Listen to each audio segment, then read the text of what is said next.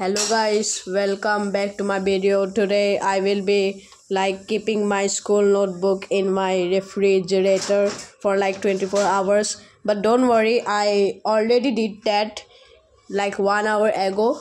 But this time i will put it for uh, like 24 hours. And i hope it don't freezes. And it will be very very good. So yes I will keep it for 24 hours and I will come back tomorrow. Bye, guys. Have a wonderful day.